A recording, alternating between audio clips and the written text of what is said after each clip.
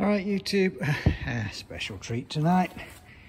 This is a uh, Lycoming four-cylinder engine crankcase and crankshaft. And for those of you that don't know, cylinders bolt on here, here, here and here. Crankshaft goes right through the middle here. And the whole caboodle, the whole case, splits in half right down the middle camshaft there, crankshaft there, sump goes on the bottom. And hold it all together. Lots of lots of attachments around here. Lots of through bolts across the bearings and some of these cylinder hold down studs, I think. This pair. Mm, nope, sorry. This pair here come through on the other side cylinders are slightly staggered and offset. Um, this pair here come through to the back of this cylinder here. So there must be another pair, yeah, on the front.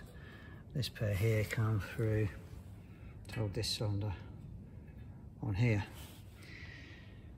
And that provides a pretty fair means of holding this thing together. All right, now the purpose of this video is just to quickly explain something that I've posted in a comment on the Flying Reporter's last video about oil pressure. Um,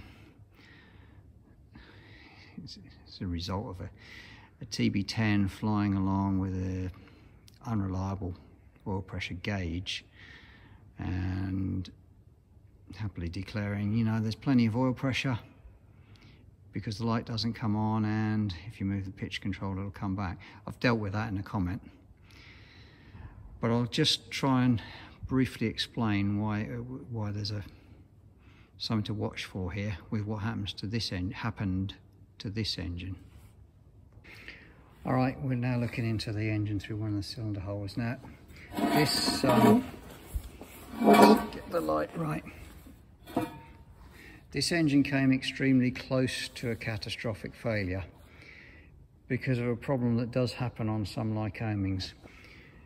Because of the way the cylinders bolt down and hold the crankcase halves together, obviously where they, where they join here, on the main bearings there's a bearing shell inside here that has to be clamped tight enough and it's located with tangs tight enough not to shift in the case halves but it needs to maintain its correct clearance on the crankshaft to have a film of oil so that it's correctly lubricated and correctly functioning and you've got good oil pressure.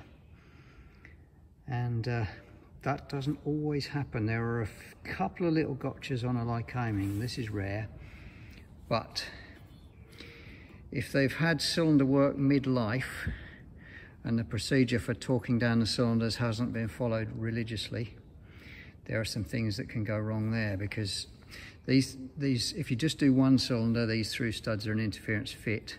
When you release the torque, it's possible for the torque nut, the other side, to pull the stud a few thou back. When you retorque this cylinder this side, you must retorque the other side simultaneously. Otherwise, you could have a stud that shifted slightly back, relaxed the torque on this side, and didn't pull back through. So your cylinder the opposite side, and consequently your main bearing can come loose.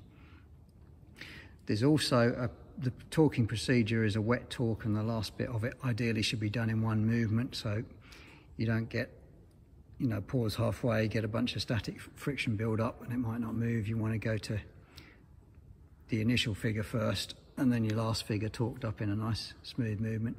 They're awkward to get round. You can get a false torque there's a few things that can go wrong when you do cylinder work on an older Lycoming engine just needs careful attention paid to it. It's good standard practices, but it doesn't always get done. And what it can result in occasionally is um, the preload on these studs and consequently across the main bearings that holds the shells in place is incorrect. Sometimes it just happens anyway that the case halves after very high hours come apart and start to fret away at the foot there. And then every so often, if the case half was already fretted when you put the cylinder on and you've torqued it down, you've put too much, too much load on the main bearing and it could nip the crank. and if you haven't torqued it down properly it will start to fret, gradually loosen up and the main bearing shell can move for that reason. I don't know exactly the sequence on this one but the main bearing did move. Its tang, its tang cut a big groove around here. And the crankshaft which has gone very rusty now got plugged almost solid with uh, this crank pin almost solid with metal. It came through from this main bearing through the cross drilling. And the point is it was it, the filter was absolutely jammed with metal. It was at the point of catastrophic failure or seizure. Anyway. So what's my point with all this? The point is that what the operator noticed on this aircraft was that just for a couple of flights in cruise, the oil pressure dipped down below where it normally would be. Not particularly low, just a little glitch. Um, and then it appeared to return to normal for a flight or two. And they casually ran it over to us on Monday morning, said, do you think there's anything wrong with it? And when we pulled the filter, you've never seen so much metal in all your life.